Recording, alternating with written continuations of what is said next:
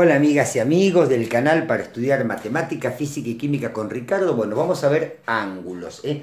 Algunos conceptos que me interesa que sepas. ¿eh? Lo que es un ángulo recto. Un ángulo recto es el ángulo que tiene 90 grados. Y lo vas a reconocer porque generalmente te lo marcamos de esta manera. ¿Ves? Con este recuadradito te indicamos que es 90 grados. Bueno, ¿qué ocurre con los ángulos rectos?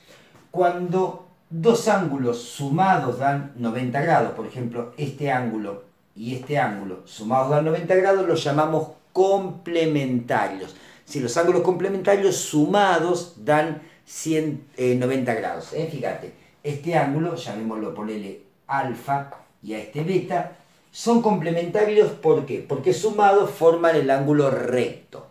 Luego tenés el ángulo llano, que son un ángulo formado por semirrectas opuestas.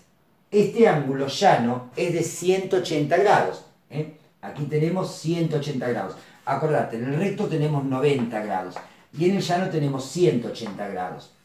Y aquí hay algo interesante con el ángulo 180 grados. Cuando vos, imagínate que este es el vértice del ángulo, y podemos plantearnos dos ángulos que sean, que tengan el mismo vértice, un lado en común, y los otros dos lados sean rectas opuestas. A esos ángulos los llamamos adyacentes. Sería este ángulo alfa y beta. ¿Ves? Son ángulos adyacentes. Fíjate lo que tienen. El vértice en común, un lado en común y los otros lados son semirrectas opuestas. Bueno, los ángulos adyacentes son suplementarios. Sumados dan el ángulo llano. Es decir, alfa, fíjate, de acá hasta acá. Le sumo beta, que es de acá hasta acá. ¿Y cuánto me da? 180 grados. O sea, que los ángulos cuando son adyacentes son suplementarios, sumados dan 180 grados. Y cuando son complementarios, sumados dan 90 grados. ¿eh? Que nos quede claro.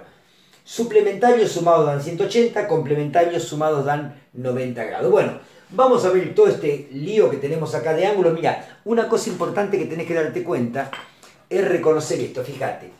¿Ves? Acá tenemos un ángulo llano, te lo estoy marcando ya mismo, mira. Este es un ángulo de 180 grados, ¿ves? Ahí te lo estoy marcando. ¿Ves? Este ángulo mide 180 grados. ¿Ves que son, los lados son semirrectas opuestas? O sea que de aquí hasta aquí hay 180 grados. ¿eh? Que nos quede claro. Mientras que acá hay un ángulo recto. ¿Lo ves? Al ángulo recto. Ahí hay un ángulo recto. Bueno, vamos a empezar. A ver. Yo quiero determinar el ángulo que sea complemento complemento al ángulo 1, ¿eh? que sea el complemento del ángulo 1. ¿Quién es el complemento? Aquel ángulo que sumado de 90 grados, eso es el complemento. A ver, si este es el ángulo 1, ¿eh? ¿cuánto hay que sumarle para que dé 90 grados? Mira, fíjate, mira cómo el análisis que hago. De aquí a aquí hay 90 porque es un ángulo recto, ¿verdad? Claro, como esto es un ángulo llano, quiere decir que todo esto también mide 90, porque 90 y 90 dan los 180 grados que forman el ángulo llano. Entonces, ¿qué podemos decir? Que el ángulo 1 y el ángulo 2, ¿cómo son? Son complementarios, porque sumados dan los 90 grados que le faltaba a este ángulo para llegar al ángulo llano. Fíjate, el ángulo 1 junto con el ángulo 2 que te forman los 90 grados que, agregándole los 90 grados del ángulo recto, me da el ángulo llano. Por eso, el complemento de 1 es el ángulo 2. ¿eh? Este es el complemento de 1, porque sumado con 1 da 90 grados, para que sumado con el ángulo recto termine dando los 180 grados del ángulo llano. Bueno, vamos a un suplementario. El suplementario es aquel ángulo que sumado con otro da 180 grados, da el ángulo llano. Bueno, suplementario de 3. A ver, fíjate, este es el ángulo 3, ¿lo ves? ¿Quién hay que sumarle para que dé 180 grados? Este ángulo, el 4. Ve, fíjate, si yo al ángulo 3, que ahí te lo estoy marcando, le sumo el ángulo 4, ¿eh? me da ni más ni menos que 180 grados, te repito. Partiendo de acá, hasta acá tenés el ángulo 3.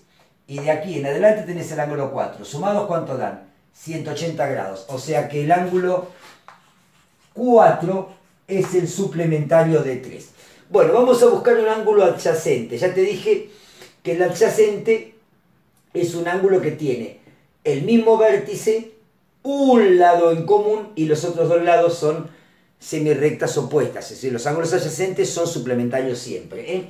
Bueno, un ángulo adyacente a, a este ángulo gamma. Bueno, a ver, ¿quién es adyacente a gamma? Bueno, fíjate, en primer lugar, acá te lo escribí medio feito, este es el ángulo phi. ¿eh? El ángulo phi, fíjate. Gamma y phi, ¿por qué son adyacentes? Porque tienen un vértice en común, un lado en común y sus otros dos lados son semirrectas opuestas. Sumados, por supuesto, dan 180 grados. Phi es adyacente del ángulo gamma. Pero no es el único, fíjate que delta también lo es, porque fíjate que entre gamma y delta, ¿cuánto hay? 180 grados. Tienen el vértice en común, un lado en común, y sus otros dos lados son semirrectas opuestas. Quiere decir que entre gamma y delta también hay 180 grados, o sea que no solamente phi, sino que también delta es también adyacente al ángulo gamma. Fíjate, gamma tiene dos adyacentes. Phi sumado da 180 y el otro adyacente delta que también sumado da 180. Bueno, uno opuesto por el vértice a beta. Bueno, este es beta, fíjate, este es beta, este es el vértice de beta. ¿Quién es su opuesto al vértice? Gamma, fíjate, acá tenés, mira, un ángulo y su opuesto al vértice. Gamma es el opuesto al vértice de beta. ¿eh? Bueno, vamos a hacer un poquito de cálculos. A ver, Sabemos que delta vale 108 grados. Este ángulo vale 108 grados. Bueno, a ver, empecemos. Empecemos. Delta es 108 grados. Fíjate una cosa. Phi también vale 108 grados. ¿Por qué? Porque son opuestos por el vértice. Los ángulos que son opuestos por el vértice miden lo mismo, tienen la misma amplitud. Entonces, Phi vale también 108 grados porque son opuestos por el vértice. ¿eh? Opuestos por el vértice. Es decir, este ángulo y este ángulo son iguales por ser opuestos por el vértice. Bueno, vamos a determinar gamma. Fíjate, delta y gamma sumados dan 180 grados. Quiere decir que gamma es 180 menos delta. Bueno, vamos a sacar gamma. A ver, gamma es 180 grados restado delta que vale 108 grados. Bueno, vamos a tener que hacer la cuenta. ¿eh? Vamos a hacer la cuenta por acá en un cachito. Hagamos 180 grados. Y le vamos a restar 108. ¿eh? Bueno, acá nos queda 2. Acá nos queda 7 y acá nos queda 0. 72 grados. Bueno, 72 grados es lo que vale el valor de gamma. ¿Por qué? Porque delta sumado con gamma, ¿cuánto tiene que darme? 180 grados. Entonces, si, del, si delta valía 108, ¿cuánto vale gamma? Lo que falte para llegar a 180, o sea, 72. Bueno, a ver, sigamos. O sea que ya tenemos calculado todo, ¿verdad? Sí, eh, tenemos calculado beta, dijimos que opuesto por el vértice, beta vale, entonces, eh, no, perdón, beta y gamma, fíjate que lo acabamos de calcular a gamma, eh, son opuesto por el vértice, o sea que si gamma vale 72, beta también vale 72 grados porque son opuestos con el vértice. Bueno, como sea, 72 y 108 da 180, 72 y 108 también dan 180 grados. Bueno, eh, por último, si el ángulo 1 mide 41 y el 3 mide 31, bueno, vamos a ver cómo hacemos esa ensalada. A ver, vamos a ir borrando por aquí para prepararnos a hacer esa ensaladita ya borro todo esto y me voy a preocupar ahora por los ángulos 1 y 3 que miden 31 y vamos a ver cuánto vale el ángulo 2 y el ángulo 4. A ver, 1 mide 41, el ángulo 1. E, este mide 41 grados. Vamos a ir borrando el mamarracho que hicimos acá. ¿eh? Todo este mamarracho que hicimos acá. Vamos a ir borrándolo. 1 eh, mide 41 grados. ¿Qué otra cosa nos dice el ejercicio? Que 3 mide 31 grados. Este mide 31 grados. 3. 31 grados. Bueno, ¿qué me piden determinar? El ángulo 2 y el 4. Bueno, fíjate. El 1 con el 2, ¿cuánto sumaban? Sumaban 90 grados, porque fíjate que de acá hasta acá tenés 90 y de acá hasta acá ¿cuánto tenés que tener? 90 para completar los 180, ¿verdad? O sea que 1 y 2 son complementarios, sumados dan 90 grados. Entonces, Si uno mide 41, ¿cuánto mide 2? Y lo que falte para llegar a 90. O sea, 90 grados restado 41. Bueno, hagamos la cuenta. Acá nos da 9 y acá nos da 5. 59 grados es lo que mide el ángulo 2. ¿eh? El ángulo 2 mide 59 grados, ¿por qué? Porque es lo que le falta a 41 para llegar a 90. Fíjate, de aquí hasta aquí hay 90 y de aquí hasta aquí hay 90. Quiere decir que 1 junto con 2 tienen que sumar 90. Son complementarios. Bueno, vamos ahora al ángulo 4. ¿eh? El ángulo 4 está aquí. Bueno, a ver cómo lo podemos determinar al ángulo 4. Fíjate, todo este ángulo te dije que era 180 grados, el ángulo llano, ¿verdad?